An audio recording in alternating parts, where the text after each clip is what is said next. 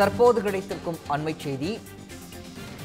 சேலத்தில் வீடுகளுக்குள் புகுந்த மழைநீரால் நடவடிக்கை எடுக்காத அதிகாரிகளை கண்டித்து மக்கள் சாலை மறியல் போராட்டத்தில் ஈடுபட்டிருக்கிறார்கள். சேலத்தில் கனமழை காரணமாக வீடுகளுக்குள் மழைநீர் தேங்கியது. இதையடுத்து தற்போது ஒரு மணி நேரத்திற்கும் மேலாக கொட்டிக்கிட்ட அந்த கனமழையால் வீடுகளுக்குள் மழைநீர் புகுந்திருக்கிறது. மாநகராட்சியை கண்டித்து கிராமம் வந்த மக்கள் சாலை மறியல் போராட்டத்தில் ஈடுபட்டிருக்கிறார்கள். பிரபாத் பகுதியில் நூற்றுக்கும் மேற்பட்ட வீடுகளுக்குள் புகுந்த மழைநீரால் மக்கள் கடும் அவதி அடைந்திருக்கிறார்கள்.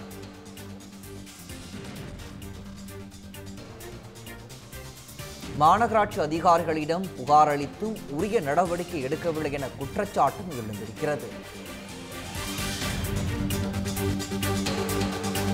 மாநகராட்சி அதிகாரிகள் நடவடிக்கை எடுப்பதாக உறுதியளித்ததை தொடர்ந்து பொதுமக்கள் கலைந்து சென்றிருக்கிறார்கள்.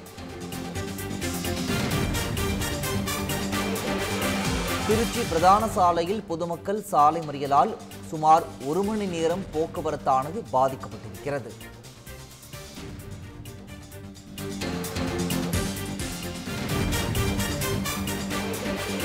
திருச்சி பிரதான சாலையில் பொதுமக்களின் சாலை மறியல் போராட்டத்தால் ஒரு மணி நேரத்திற்கு மேலாக போக்குவரத்து அந்த பகுதியில் பாதிக்கப்பட்டிருக்கிறது.